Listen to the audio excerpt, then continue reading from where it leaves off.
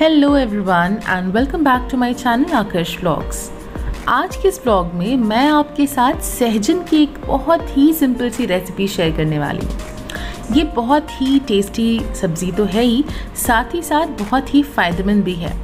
Specially BP patients के लिए ना ये बहुत ही ज़्यादा फ़ायदेमंद सब्ज़ी है। और गर्मियों का मौसम है तो इसे तो जनरली बहुत सारे डिशेस में यूज़ किया जाता है। आप सांभर बना रहे हैं तो उसमें भी आप यूज़ कर सकते हो। या फिर अलग से इसका जो एक नॉर्मल सा जो है ना रेसिपी आप इस तरह से, जैसे मैंने बनाया है ना, आप वैसे भी बना सकते हैं।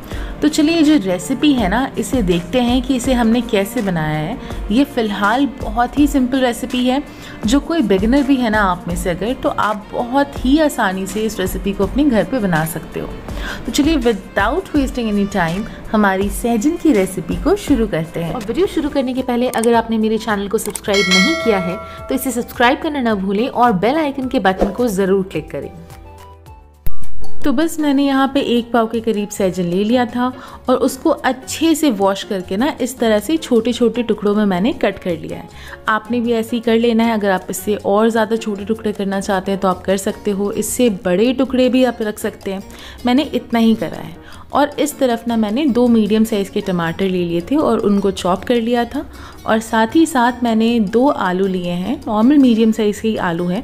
उनको मैंने इस तरह से लंबे और मोटे टुकड़ों में मैंने कट करके रखा हुआ है। आप भी इस तरह से ही कट करके रख लो।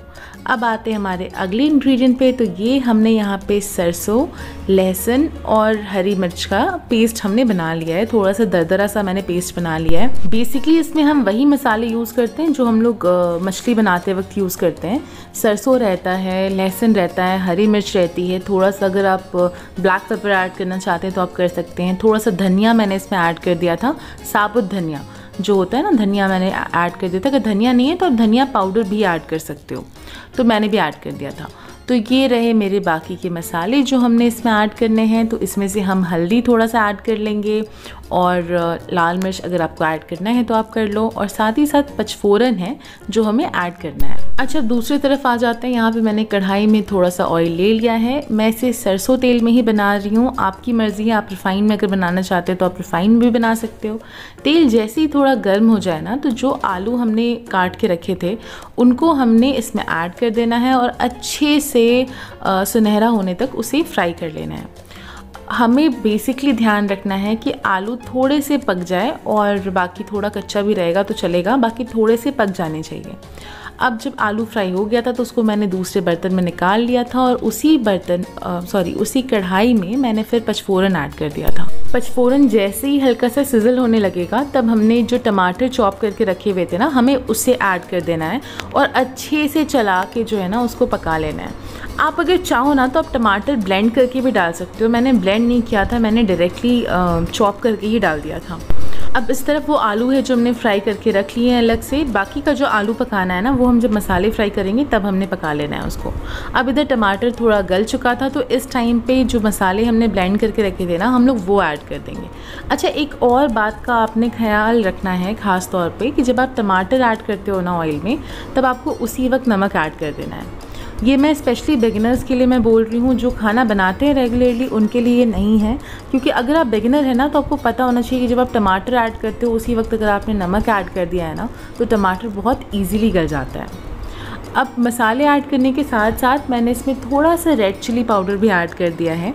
और उसके बाद इसको अच्छे से हम चला चला के जो है ना अच्छा सा हम लोग इसको फ्राई कर लेंगे मसाले।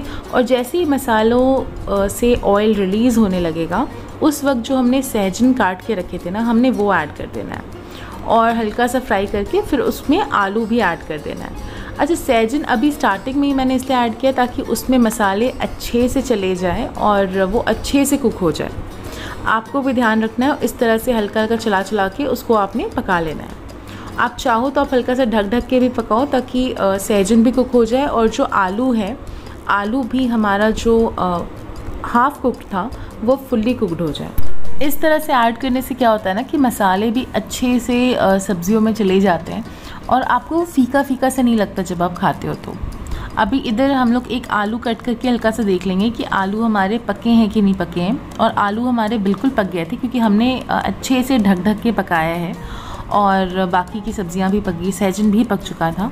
तो इस पॉइंट पे हमें जितना पानी ऐड करना है, हम लोग पानी ऐड कर लेंगे और उसके बाद ना इसे थोड़ा सा इसमें हल्का सा एक उबाल आने देंगे। अब मुझे जितना ग्रेवी चाहिए, मैंने उतना पानी ऐड किया है। आप अगर इससे ज़्यादा ग्रेवी खाना पसंद करते हैं तो आप थोड़ा ज़्यादा पानी ऐड कर लें। बट उस वक्त ना आपको नमक का भी ध्यान रखना है। तो इधर पानी ऐड कर लिया और आप इधर देख लो हल्का हल्का सा उबाल आ चुका है।